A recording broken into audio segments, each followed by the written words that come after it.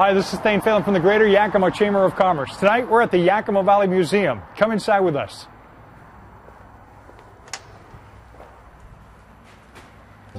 Showcase Yakima, a partnership of KYVE 47 and the Greater Yakima Chamber of Commerce.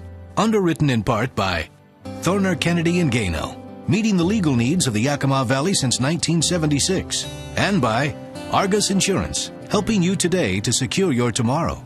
And by Yakima Valley Regional Medical and Cardiac Center, home of the 15 minute ER guarantee. And by Central Valley Bank, large enough to serve, small enough to care. And by Treetop, 50 years of growing good. And by Fitterer's Furniture, quality furniture since 1896.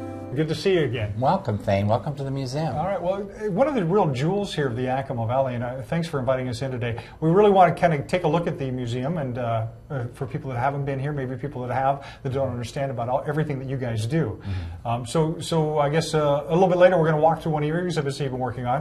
Well, right now, tell us a little bit about uh, about the museum. How do you get everything that you get? How are you guys? Uh, how, how, do you keep going? You know, we've been here since the 1950s. This building has increased in size and, and increased in objects. We have over 100,000 objects here mm-hmm. that we take care of, that we preserve for uh, future generations. We also have programs here, all kinds of act- activities here. We really become a community center. Well, tell is. me a little bit about some of the objects that you have here of historical significance. Where, where does all that come from? Yeah, yeah. All the all the items that we have here in the museum really tell about Yakima history. So mm-hmm. all the things that have that we've uh, collected over the years have been given to us. 99% of the things have been given to us by people in the valley. So they uh, they come in almost every week and give us something new, and which adds to our collection. So, so, so as people uh, here in the valley, they really can contribute to their own Yakima Valley Museum by true. I guess if, if somebody passes away or if there's a family collection, that uh, then you guys take care of that, right? Right, that happens. And actually, a lot of people like to feel that they have some place that their things can go mm-hmm. and be uh, treasured by future generations. Okay, and so uh, and that's a lot of your uh, your items that you get here. And you're going to take us through a little bit today about how you take care of those items. Right. Actually, after an item comes in, we actually mm-hmm. it's called accessioning. We're going to go through the whole process of how the product piece gets accessioned and where it goes and how it gets taken care of and how it gets actually moved all the way to an exhibit. Oh, okay. So that's some of the things we'll take, take a look at today. Now, specifically, you said you have a, uh, a new exhibit you're working on. We do. We have a McWhorter sheep wagon, which is a very large object, uh-huh. and then we have all the things that came in with that. So we have objects that accompany that in the exhibit, and we have photographs and documents and histories that all came in from one family. And what's nice about that is it really gives us a good picture of the entire uh, object, you know, all the background behind it. And the process, I guess, of putting it together and yes. making it an exhibit. Let me take you around the museum and show you all the people that make an exhibit possible and make it, this museum run. All right, great. Okay? It'd be good to meet them. Okay, let's, let's go. go. Hi, Thane. You're now in our Sundquist Research Library, which is our archives for oh. the museum. And so this is where all of our documents and photographs are stored. We use a lot of the material in here for exhibits, for research exhibits, and a lot of people actually come in this very room and do research themselves. So as new exhibits uh, come in, they come in, in, in objects and also in flat material like photographs and documents, and then they're processed here. Mm-hmm. And so Debbie Valchek, who's our archivist, is actually Debbie. processing some of the photos from our new McWhorter sheep wagon exhibit. And as she gets objects in like this, some of these, most of these are flat and some come in mm-hmm. frames. Of course, we have to remove them from the frame, sure. scan them, and then she documents them and gives them a number and marks down any information that she can. A lot of this information comes from the people who give it to us, so we try to get as much information from them as. Possible. And if you don't have that information, then do you do a little research background we, on it to we, find out?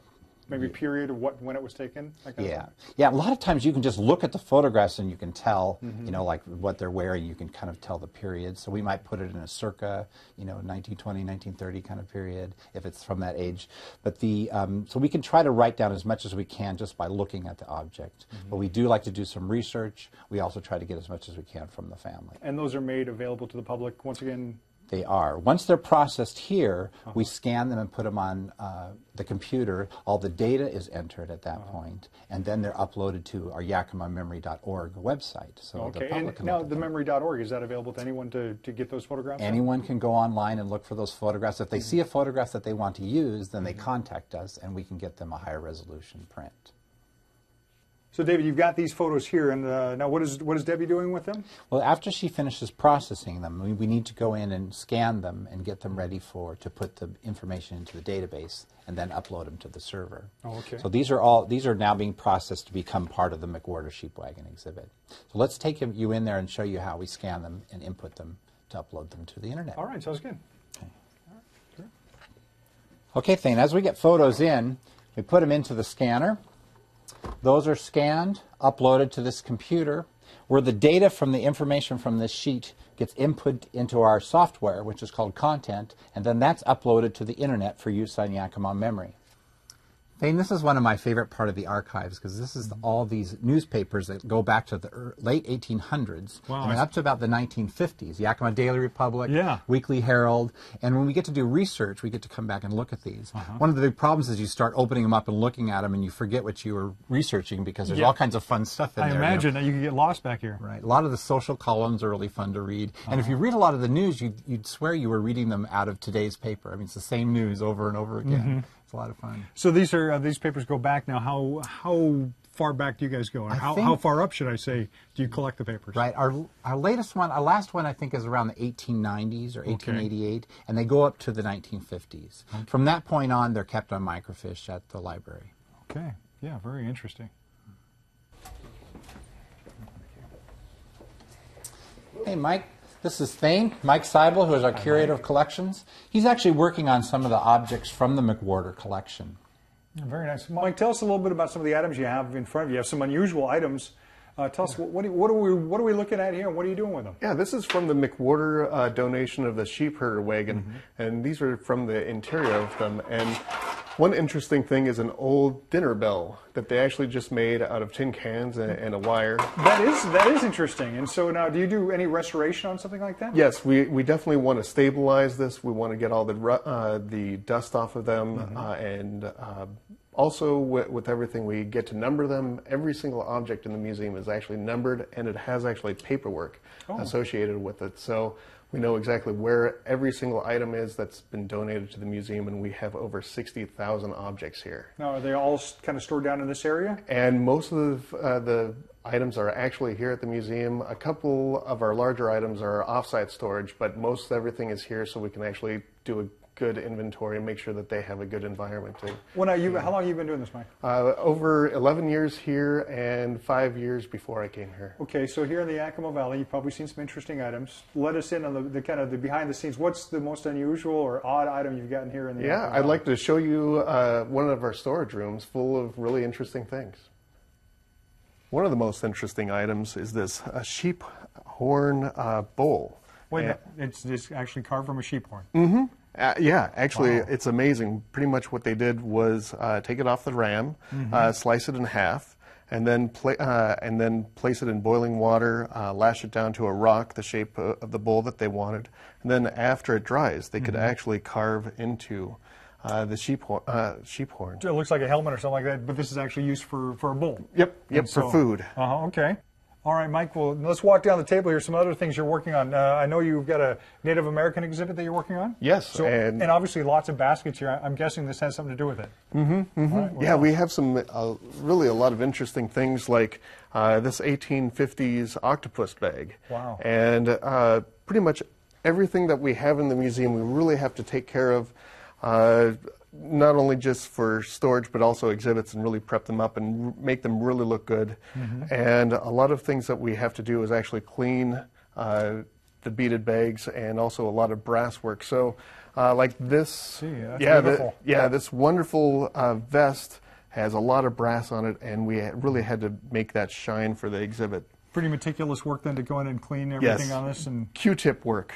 okay, so what is the handling procedure? I see you have gloves on. Um, Yes. and so, and that's probably part to keep the oils off uh, everything like. Exactly. We, we want to preserve these things for generations to come. It's not just for for uh, our visitors today, but but definitely for for decades to come. Well, very interesting. Yeah. So a lot of uh, wonderful uh, work. We also have to uh, do some interesting stitch work. We have some beaded uh, bags that actually come apart, and we actually have to reversibly fix them, uh, where uh, we actually document everything that we uh, do. So uh, if uh, it comes off of exhibit, we can actually reverse what we've done to stabilize it. If uh, in back in storage, Sure. it's, it's okay. But when things get into exhibits, uh, they have to be propped up, and we have to really make sure that they're nice and stable. Well, I appreciate you uh, showing us behind the scenes here at the Yakima Valley Sure. Museum. Mike, what a pleasure to meet you. Great. Thank you so much. Thank you.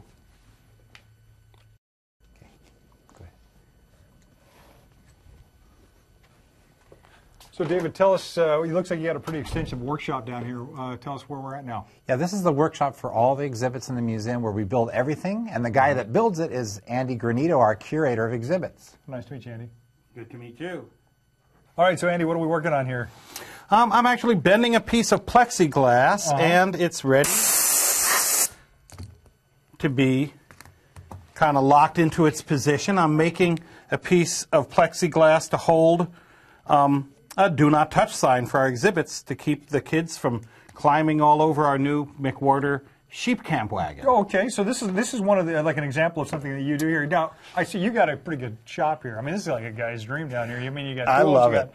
Exactly. So, uh, everything you guys do for your displays, you pretty much make in here. everything from designing on the drafting table or the mm-hmm. computer to designing our labels to building our platforms to building even walls. Mm-hmm. We're kind of rare in that way. Most museums hire this stuff out.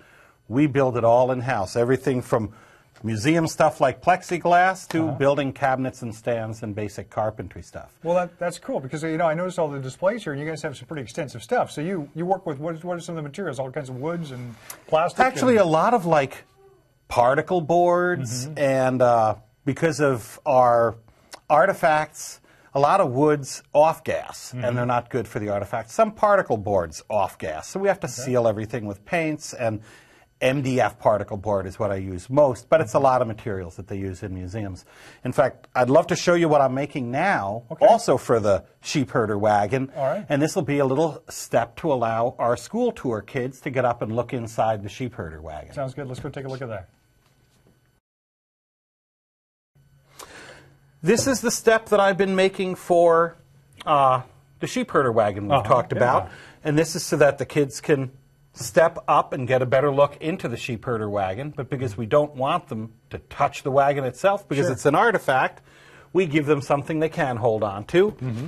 And we put the do not touch sign on it. You Of see course. these all over the museum. Yeah, absolutely, and, and everything made right here in your shop. Everything's made right here in the shop. In fact, we're going to install this a little later today. All right. Well, thank you, Andy, for showing us what you do here behind the scenes at the uh, Yakima Valley Museum. Appreciate it. Nice to meet you. Thank you. Good to meet you. All right, David's got another section, so let's go up and take a look at that. Okay.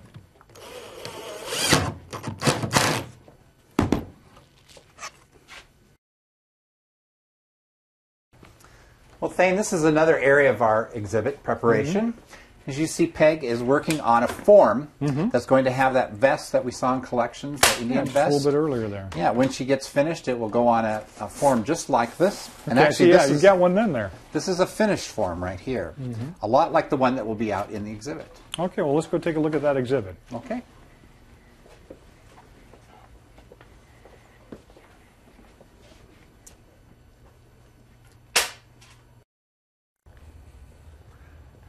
Okay, here we are. Uh, we've got, uh, well, what we were working on back there. Right, that's right. Now, um, Peg and Andy are working on getting this ready to go into the exhibit case, getting it on the final form. And This is this is going to this big case here now. This is Right. we're on the main floor of the Yakima Valley Museum here We now. are. And uh, this this case tell us a little bit about because we're this is designed to move wherever you need it to It go. is. It's, it's actually almost in a tule lodge shape, which is an American Indian shape. And it's made so it can move. Now, one thing we need to do, and all the things that are down here on the lower floor, floor are able to move, and we do that on purpose because we have a lot of programs, other events that go on here, so we need everything to move out. And what's interesting is that Andy and Peg have parking spots for everything. So when everything needs to move, it goes into parking spots, Right. and then we're able to have events down here. Yeah, and this is, I mean, a big, beautiful area for that. Right. Uh, but uh, then the other, we've been talking about the McWhorter sheep wagon. So you're going to take us and we're going to take a look at uh, all the things you've been preparing, getting ready for to uh, put that on display. Right, and that one's right upstairs. All right, so we'll head up on- that way.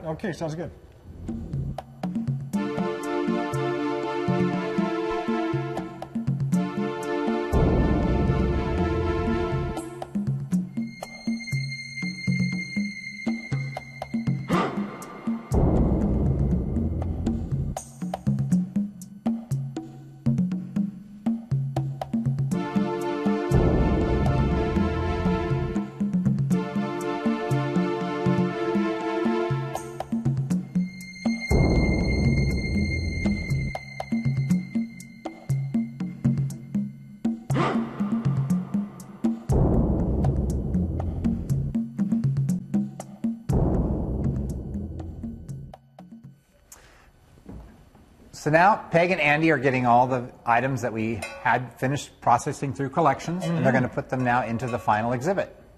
Yeah, we saw the uh, dinner bell earlier, and uh, Right. a lot of the things here that. Uh, So the dinner bell goes in. And what time is dinner, Peg? well, it's amazing to see. Now, uh, tell us a little bit about here. This is one of your new exhibits, the uh, McWhorter Sheep Wagon. Correct. So tell us a little bit. Where, where did this come from? Well, it actually came from the McWhorter family, and what was interesting about it was that it wasn't didn't have this original carriage on the bottom. It had it had been updated over the years and had rubber tires on Okay. it. And so Andy and Peg worked on it to actually restore it to a period piece. So it has a new or an old new carriage underneath. And then had a new cover put on, so it restored it to the time when it would have been used for as a sheep wagon. Yeah, and then the pieces, uh, obviously, we've seen that uh, have been built here throughout the day that you guys do all right here. Right. And so now Andy's going to create a piece so the kids can you know, step up and look in. Very nice.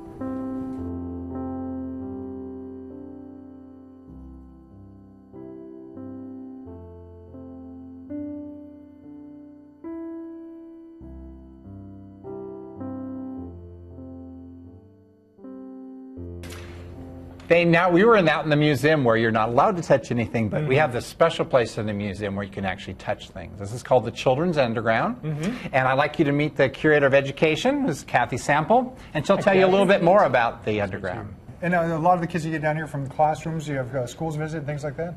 We do school tours. In fact, yesterday I just had a school from Barge Lincoln, 53rd graders. Okay. And um, we did a geology lesson with that. Uh, in the spring, we do a story fest where we do over 200 kids a day for three days.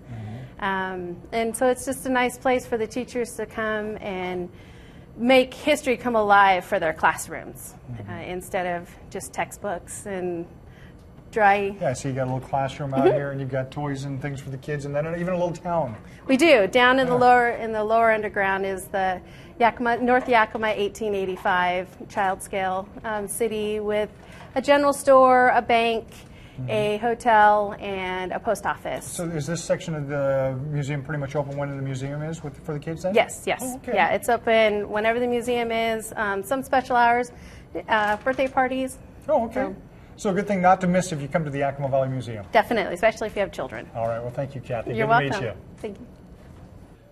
Well, David, we've seen uh, some interesting ex- exhibits that you're doing here currently, the Native American and your McWhorter sheep wagon. Here's another very interesting one that uh, I know has been a favorite here in the Valley. Tell us a little bit about this and some of the other exhibits that you do. Right. This is our head over heels exhibit, and actually, it's been so popular that we're going to carry it over another year. One thing we try to do is we get a lot of special exhibits in so that every time you come to the museum, there's something new for you to see here. And so we do all kinds of subjects from art to history to shoes. This has got to be one of the biggest collection of women's shoes ever, isn't That's it? right. And this is only half the collection. This Wow. is 600 pair. There's actually 1,200 pair in the collection, and it's still growing. Wow, that's incredible. And so now we're going to start working on some other exhibits uh, out in the, in the museum, bring more of our collections that you saw out on display, because that's one thing we want to do is get a lot of objects out here. And one of the uh, people that I'd like you to meet actually is our director, who's John Baule, and he can tell you a little bit about more of the museum that we're doing here. Hi, John. Hi, nice to meet you. Nice to meet you. All right, thank you, David. Hey. John, Yeah. good to see you. Good to see you. So tell us a little bit, uh, the Yakima Valley Museum, how long is it, how long have we been in operation here? Museum has been in the valley since 1951, but it's actually the third attempt to have found a museum. They tried to found a museum in Yakima Valley as early as 1917, uh, tried again in the 1930s, and finally it took the Daughters of the Pioneers of Washington uh, and their efforts to make it stick in 1951. Okay, so what was, what was what happened in 51 that made it uh, possible to finally get a permanent Yakima Valley Museum? Uh, I think one of the impetuses was finally World War II was over. There had been an interest in doing this. A lot of the people who had been kind of early settlers in the valley were beginning to, you know, die and, and, and obviously not going to be here. So there's a lot more pressure to do it. And at the same time, they were building a new city hall downtown. Uh, the current city hall, as a matter of fact. And so as a result, uh, they took some space in there. Just the city gave them some space, essentially. Uh, it didn't last long, however, because like uh, this will come as a great surprise, I'm sure, to most people. But city government grew so that within Oh, about course, three yeah. years, they couldn't give space to anything that wasn't part of government, and the museum's not part of part of uh, any governmental agency. So that's when we moved to this site. Oh, so you- you've been at this, this site since that time. Since 1957, and you con- essentially. yeah. continue to grow. We, we saw downstairs. I mean, the, your your collection continues to grow as well. Yes, yes. We have one of the largest collections actually in central, actually in eastern Washington. Uh, we have huge collections of everything from textiles to carriages to cars to shoes, like you'll see here. absolutely. Uh, and uh, archival material, uh books, documents, photographs, uh, pretty much anything. And that's how and that's how one way that people can be involved in their local museum is to if they find something that they think is historical significance, they can call you guys. Right, and they don't even have to necessarily determine whether it's historical or not. Some of the things, in fact, that we're looking for are some of the most common things uh, that you wouldn't even think we would want. Um, A good example of that, for example, is men's clothes. Uh, men's clothing from any period is really hard to find. Oh, okay. Men tend not to change. I mean, they'll keep their dress clothes, Sure. but their but their everyday clothes just tend to get used for the paint clothes or the Sure. car rags or all that kind of stuff, and uh, they're hard to find. Oh, okay. And so sometimes people, ah, they don't want these old clothes, but they actually there are times, things like that we do. And so this is really a gem of the Yakima Valley. So what are some other ways people can support their, the Yakima Valley Museum and, and uh, some of the services you offer? Well, I think, you know, obviously, like most places, uh, particularly in this day and age, we are, uh, I think, something that most people don't recognize is we are actually a fully nonprofit agency and we are not an entity or supported by any public agency like city or county or state. Uh, all our income, revenue, and whatnot all comes from private contributions. In fact, this building has all been built with private contributions over the years, which is pretty rare, actually, and pretty pretty uh, notable. There isn't another museum of this size in the state of Washington that's been built that way, um, nor maintained that way right now. So certainly one of the ways, of course, is it takes money to run it. Yeah, absolutely, sure, yeah. So becoming a member and, and a supporter and things like that, and uh, and then of course bringing people here and and supporting us in that manner.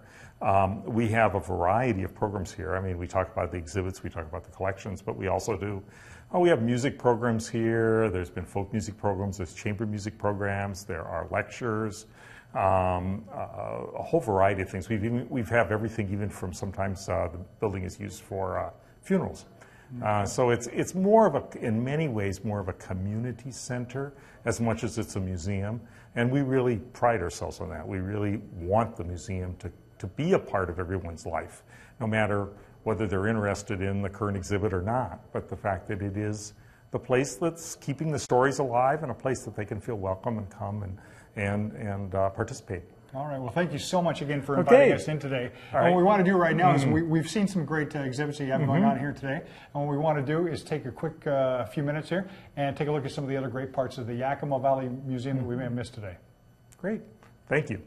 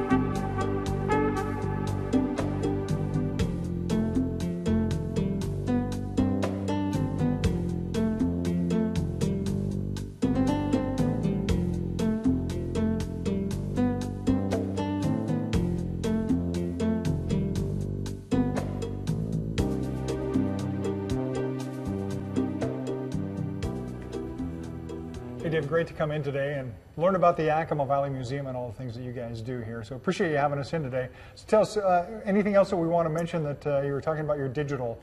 Yeah. Not only are we doing a lot of new things here, we're also creating a lot more digital content. So we have our website and Facebook and Twitter and all that, and we have our own YouTube channel. So what we're, one of the things I've been focusing on lately is getting stories about objects in the museum and putting them on YouTube. I saw one recently about the Moxie milk bottles. That's right. So it's Yeah. it's not only coming here, but enables people at home to also visit us online. Okay, so check that out too. And once again, thanks again for having us in. And Thank you so what much a great for thing coming. you guys do for the Yakima Valley. Thank you very much. Come back and see us again. Showcase Yakima, a partnership of KYVE 47 E and the Greater Yakima Chamber of Commerce. Underwritten in part by Thorner Kennedy and Gano, meeting the legal needs of the Yakima Valley since 1976. And by Argus Insurance, helping you today to secure your tomorrow. And by Yakima Valley Regional Medical and Cardiac Center, home of the 15 minute ER guarantee. And by Central Valley Bank, large enough to serve, small enough to care and by Treetop, 50 years of growing good, and by Fitterer's Furniture, quality furniture since 1896.